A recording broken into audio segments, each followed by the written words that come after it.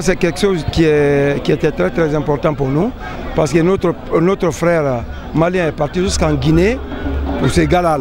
Donc vraiment on ne pouvait pas rester sans venir, sans soutenir parce que la Guinée et le Mali c'est le même pays. Donc vraiment, c'est quelque chose qui est très très important et je les remercie beaucoup parce que, par rapport à l'initiative qu'ils ont mis en place, parce que c'est rare de voir l'initiative comme ça en place. Donc on aimerait qu'on fasse ça dans tout le pays d'Afrique. Voilà, la Guinée, Mali, Sénégal, si on continue comme ça, puisque c'est l'union qui fait la force, donc on va se donner la main vraiment pour que le football, euh, le football africain aussi euh, prenne de l'ampleur, vraiment. En tout cas, on est très très content d'être au Mali. Bravo aux Maliens, bravo à l'Afrique, c'est l'Afrique qui gagne. En tout cas, merci beaucoup, vraiment. Oui, oui, exactement, parce que ça faisait longtemps qu'on n'a pas vu nos amis.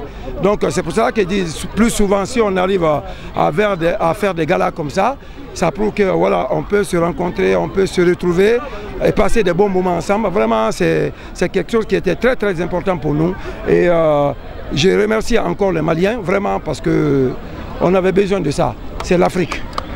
Merci aussi au public malien. C'est gentil, merci.